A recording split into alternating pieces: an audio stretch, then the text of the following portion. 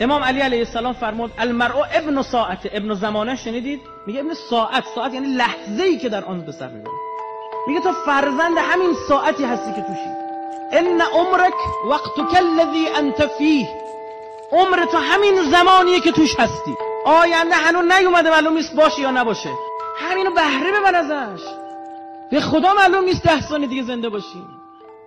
دانشمندان انجام دادن. شما در یک عمر 60 تا 70 ساله 8 روز از عمرتون رو صرف بستن بند کفشتون می‌کنید.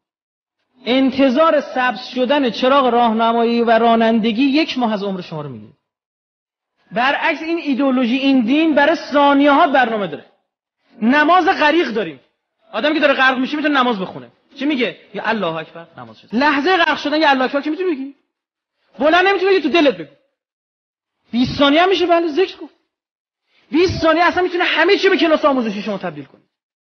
گرفتن شماره تلفن گرفتن شماره تلفن نه صحبت با تلفن.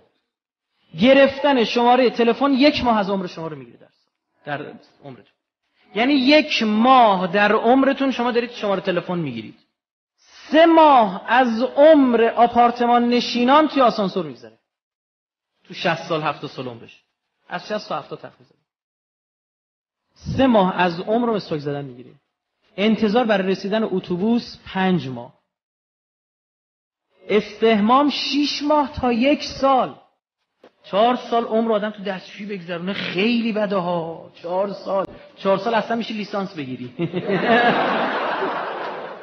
تماشای تلویزیون ده تا پانزده سال عمر. بعد چی یاد گرفتی تو این ده پونزده سال؟ موقع از اخبار رو گوش کردی؟